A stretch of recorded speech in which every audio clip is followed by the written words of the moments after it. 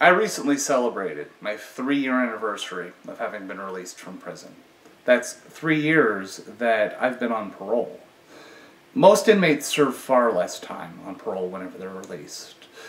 Generally, in California, the assumption is that you'll serve one year on parole, a year clean, they call it where if you're able to avoid any negative contact with law enforcement, if you're able to not upset your parole officer, not turn in any dirty drug tests, you'll be released from parole at the end of a year. However, the prevailing wisdom in the California prison system is that California is a bad state in which to serve out your parole. I had people tell me that parole officers are just looking for any excuse to violate you in order to keep the inmate population numbers in the prisons up. I don't know if this is true. Frankly, what an inmate says about how his parole officer was out to get him seems a little suspect to me. But I elected to transfer my parole to the state of Nevada in order to avoid any possible complications. Unfortunately, because I am a California parolee serving his parole in Nevada, I am not eligible for that Year Clean program. Nevada has a similar program where if you serve half of your required time on parole without getting into any trouble, you're released from parole. Unfortunately, I was not eligible for this program because I was a California inmate serving time in Nevada. So I was told to just expect to serve out the entirety of my parole, three and a half years. It's not terribly cumbersome, if we're being honest. I think at some point in the future I'm going to have to do a video on what being on parole is actually like, and it wasn't that bad. I think it's something that any law-abiding citizen could do with minimal invasion of their daily life. Well, I got some pretty exciting news. I'm off parole my parole officer contacted me and said that I had fulfilled my my obligation to the state, that I didn't need to do anything at all. I was off parole. It's done. This is hugely exciting to me for a lot of reasons. Uh, one, and I don't think anyone's going to be surprised about this, I, I have letters. I, I have friends that I made while I was incarcerated that I just think deserve a letter from me pretty much at the top of that list is Scooby. And I really look forward to being able to give an update on his life and tell people how he's doing once I contact him and hear back. Another interesting thing that I'm able to do is I can talk about my experience of being on parole without having to worry about it affecting me somehow negatively. You see, before, if I'd given a negative opinion about my parole officers, I would have had to be quietly worried that maybe they'd see the video and possibly there would be repercussions. And if I had good things to say, positive opinions about my parole officers, well, I'm just going to look like the biggest kiss ass in the world if I'm putting a video online knowing that my parole officer might watch it talking about how much I like him. So I just kept my mouth shut instead, which in life is often the wisest course of action.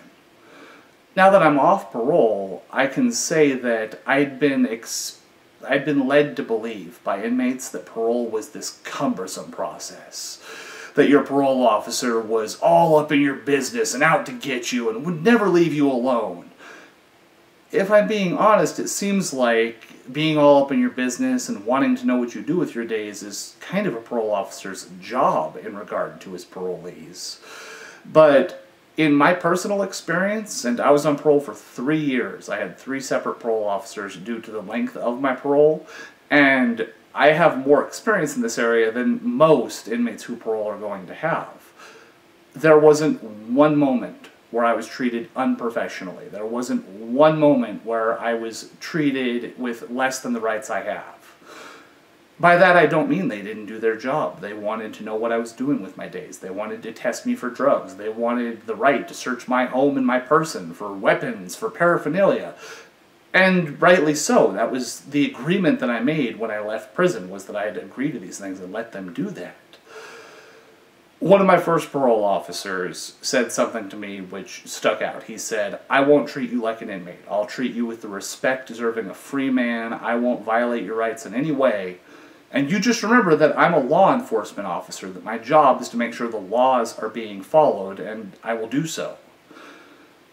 I treated all my parole officers starting from that understanding, and it was fine. I had literally not one complaint about the way that I was treated over the course of my parole. They did their job, they did it properly, and now I'm done with it.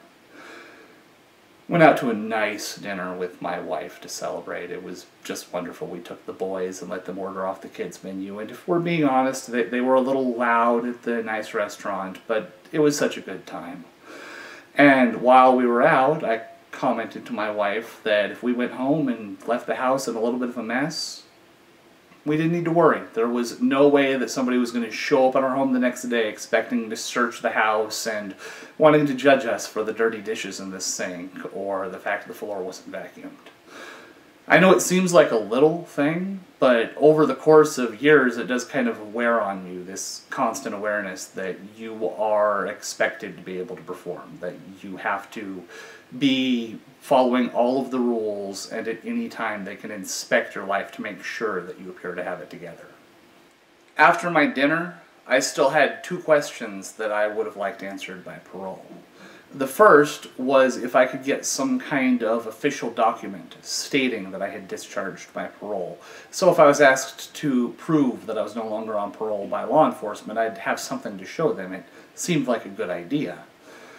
I was advised that in order to get this, I'll have to go to California and apply at a California parole office to get paperwork out of my file.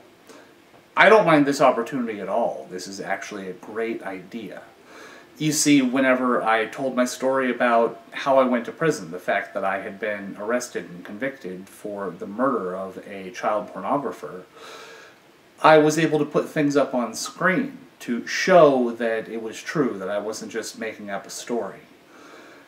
There's a lot of paperwork that was generated over the course of my incarceration that I love the idea of having access to and being able to share with my audience. So when I do go to California, I'll be coming back with a lot of paperwork.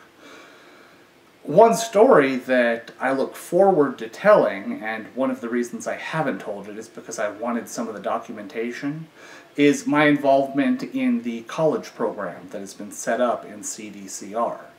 I was one of the first 13 pilot inmates who were allowed to take co college courses by correspondence and I gave advice about a lot of the details on how to set up the program to the administration, and since then, a lot of people have gotten their associate's degrees based on that program. I'd like to have some documentation, something to demonstrate that it's true before I tell that story. Of course, some things I'm just not going to be able to prove are true. I can prove I was on the same yard as Phil Spector, but I can't prove that he owed me 20 bucks, no matter how much documentation I get from CDC. I doubt that they have a videotape of him talking to me in the chow line. Don't worry, I'll pay you back, I promise, just not this week. Maybe next week, okay? That, that's not going to happen. Some stories that I tell are just going to be that. They're stories that are entertaining, that they are true, but I can't prove everything. The other thing that I would have loved to get from parole is to know why I was let off of parole early. I'm not complaining. I don't want to look a gift horse in the mouth, but what happened? It's possible that it's just a standard review. After all, I said that my three-year anniversary was just a couple days ago. Maybe every year they look at an inmate and decide whether or not he still needs to be on parole. Uh, possibly I had been on parole at that office longer than anyone else, that somebody just noticed that I'd been on for so very long that I should be taken off of the books. What I'm going to believe, the thing that I'm going to elect to think is true, is that somebody saw these videos.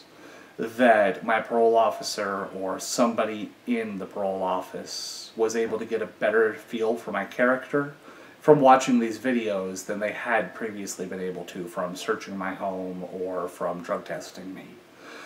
And that they decided I just didn't need to be on parole. One thing that's always been non-negotiable about these videos is the little lesson at the end where I try and take the things that I learned over the course of 17 years in prison and somehow relate them to everyday life.